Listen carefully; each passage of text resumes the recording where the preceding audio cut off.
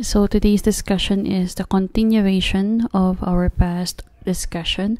So today we're going to discuss about rapport, which is also a very important thing in communication management or in managing your network. In the film Groundhog Day, Bill Murray plays a luxurious television presenter in pursuit of his female colleague. Bill is trapped in a time locked world where he gets to live through the same day again and again. Each day brings an advance in his pursuit of his object of lust as he learns different things about her, her likes and dislikes, turns ons and turn offs until, until ultimately he gets to the point of succeeding in turning around the relationship from enmity to love. So none of us have the opportunity presented by a Groundhog Day. Yet it is possible to establish some common rapport in our encounters to enable us to engage effectively and achieve common goals with other people. So rapport comes at the times when you seem to instantly hit it off with someone, where they are where there is mutual respect, trust, and sincerity, along with shared experiences and common interest. Just as you can build rapport, it is also possible to lose it by indicating a lack of interest or failing to deliver.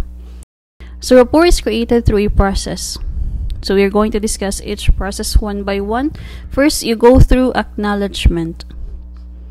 In acknowledgement, you can probably recall times when you were introduced to someone and he or she failed verbally or particularly non verbally to take an interest in you and offer respect.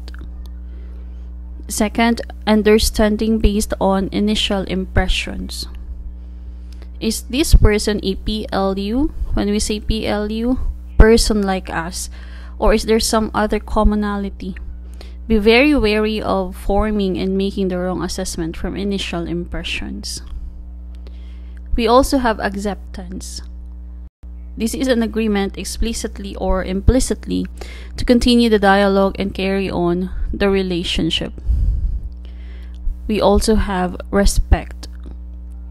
So, respect comes with an emerging emotional dimension to the relationship. So, this is just more than acknowledgement. And we also have trust. So, trust is created when you increase the level of commitment to each other. Each of you feels confident about the other. Each of you feels confident the other will deliver and deal with any concerns openly and in a genuine desire for accord. There is the belief that each will act in the other's best interests.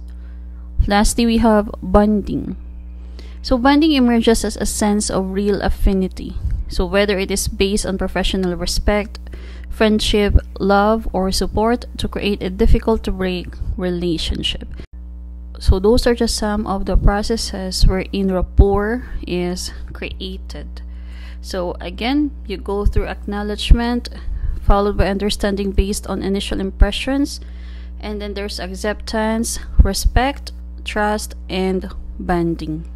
So if we have all those processes, we also have some tips for creating rapport.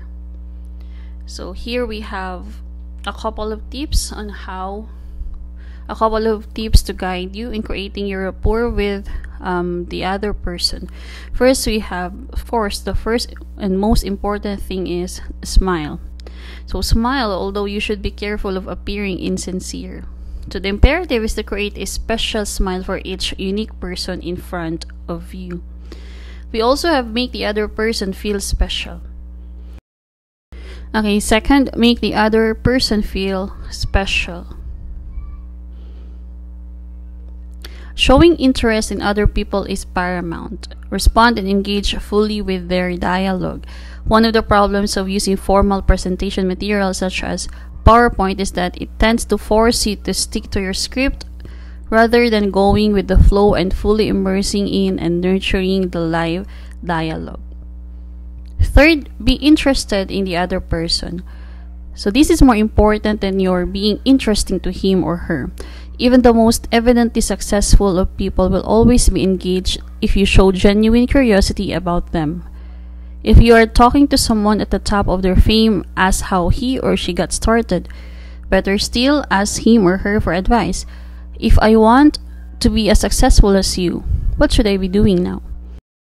The fourth one we have match, mirror, and maintain your physical stance with the person you are with. You can establish a physical rapport by harmonizing your position, posture, stance, gestures, language, and even breathing. This should be done with subtlety and inconspicuously. Poor rapport can also be generated by the physical situation.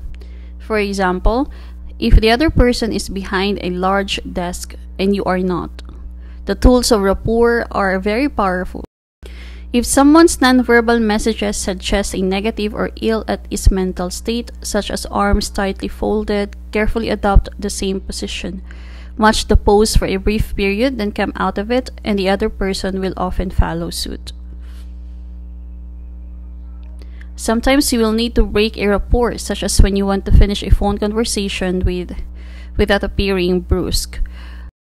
The answer is simply to stand up.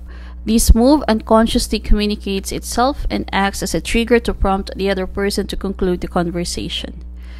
The matching should also extend to your clothing. Next, we have empathize and establish commonality. Always try to see the world from the other person's viewpoint. Understand what motivates him or her, or how his or her perspective is different from yours. Respect his or her right to be different.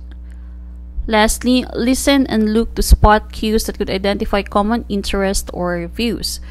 We feel closer to people who have something in common with us. It makes people feel safe and lessens potential dissonance about the fear of the unknown. People tend to like and associate with those similar to them in what is called homophily.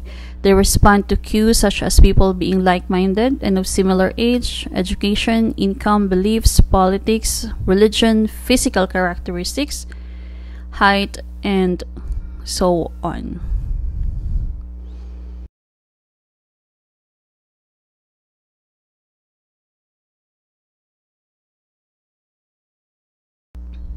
Think back to any negotiation or a meeting where there was conflict initially. How well did you build or create rapport to help the subsequent communication? Think back to recent conversations. How well did the other people create rapport with you?